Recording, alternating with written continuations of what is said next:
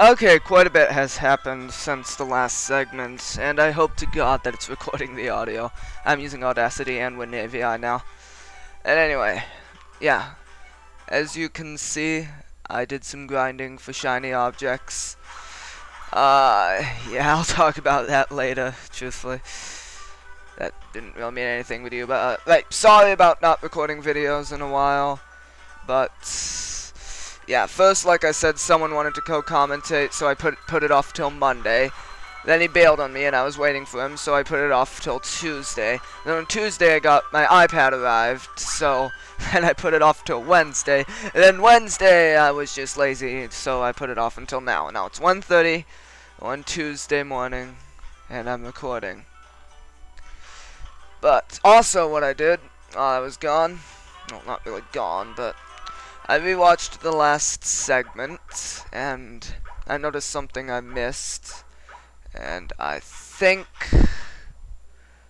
I know how to get that spatula, or at least I know how to get to the area where you get to it. Now, right now, like I said earlier, I may just, at this point, play until I beat the game. Uh, it's 1 a.m., 1.30, so I have don't really have anything to do right now. Really, all I've been doing this morning is refreshing the Big Dip on a bus fan page for news to see if he gets suspended or not.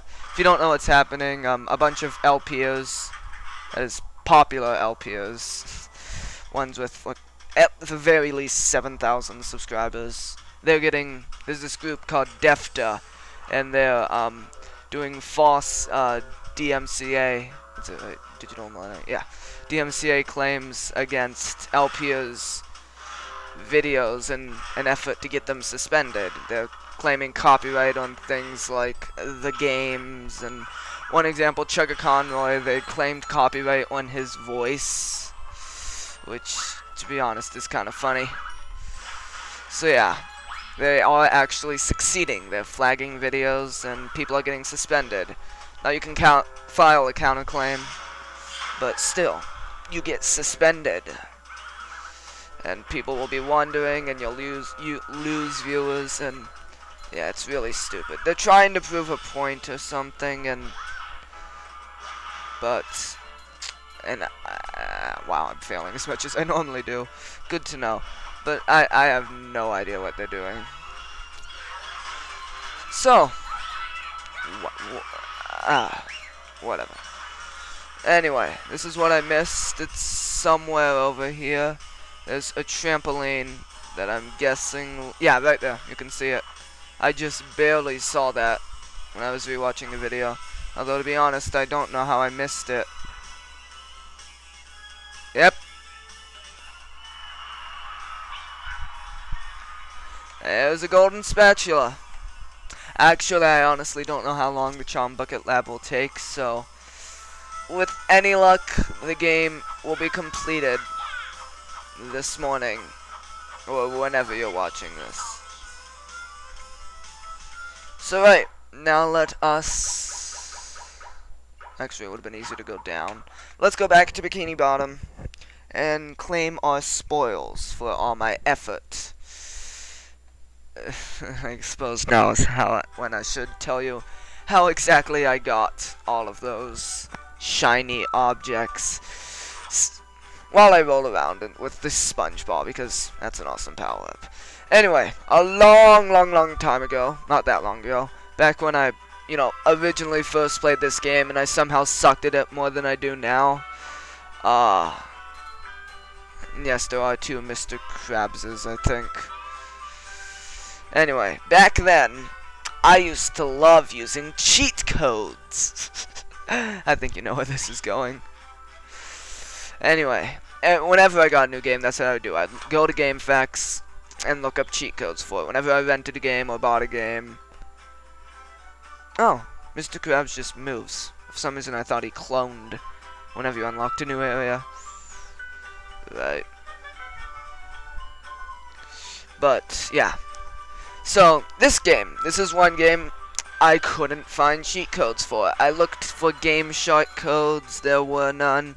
I looked for just traditional codes, and I found some, but some of them just didn't make sense. Use the sponge ball to roll around Miss Puff as she comes out of her house. Yeah, I don't know. But anyway. And then I found some traditional codes. Pause the game, press all four shoulder buttons, square, circle, circle, square, circle, circle, square, square, circle. I tried those, they didn't work. So then, fast forward X number of years to right now. So, do you want to trade shiny objects for a gold? Yeah, I should have enough to get all of them. That's quality craftsmanship, that is. Come again. Right. So anyway, fast forward to now. I need to grind to sh for shiny objects to get all these spatulas. Remember the first time I played this game, I did that in the first area of Bikini Bottom, switching between Patrick's house and Bikini Bottom to try and get a ton of golden spatulas. Here, I did it on Sand Mountain. So I went on GameFAQs again, because I wanted to make sure there was no better place to grind than Sand Mountain. There isn't. And I stumbled upon the cheat section, and I said, eh, it's worth a laugh, let's try these cheats again.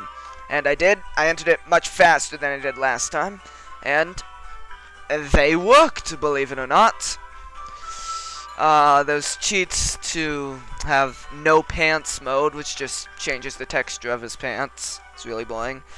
Uh, there's cheats to give you instantly a thousand shiny objects, which I only used once to see if it works. There's a cheat code to give you 10 golden spatulas, which I refuse to use because that's that's stupid. And there's a cheat that increases the value of shiny objects. It makes them like three times what they're normally worth. So I used that code. I still went through all the effort to destroy the tikis, then die, destroy the tikis, die, but it made it much easier. And I'm happy for it. You can forgive me, right? So now, let's just do this repeatedly. Totally. I hope I have enough. If not, I might actually have to go through effort. so, let's continue talking to him repeatedly. It's fascinating, I know, but... Oh, what can I talk about? Oh, I know.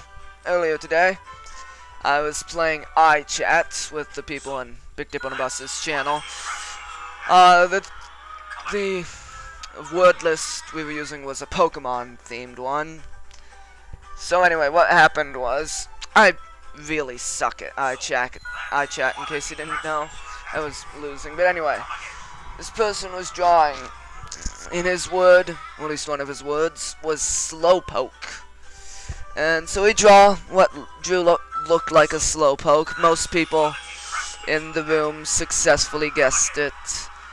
Am I gonna have enough shiny objects to get all of them? Oh wait, I'm almost done. Does he have any more? Anyway, The only good robot is the one that's given me them shiny objects.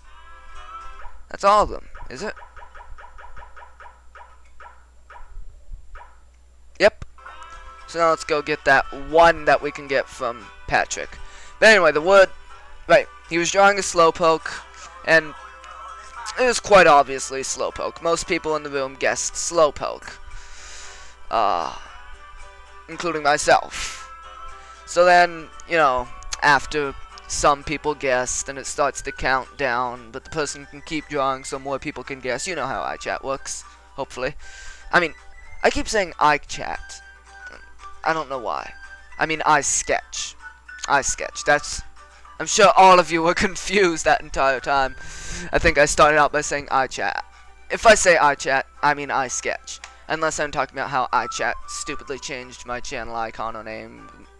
Not important. I'm just gonna roll around while I share this anecdote with you. No, I'm gonna go back to Patrick. Anyway, the word he drew a slowpoke, we all guessed slowpoke, and he kept drawing.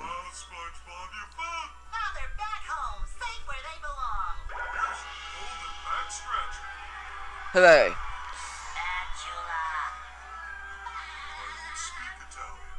Okay, that was kind of funny. And then obviously some people hadn't guessed it because they're idiots. So the guy kept drawing, and soon realized th- this guy has no idea what a slowpoke was. For you, you see, he was drawing a slow king. But anyway, yeah, a bunch of people were saying, "Hey, that's a slow king. That's slow king," because these were people that had already chose guessed that it was slowpoke. So know knew that he was trying to draw slowpoke and was pointing out the fact that he's an idiot. What is this? Oh, Sand Mountain.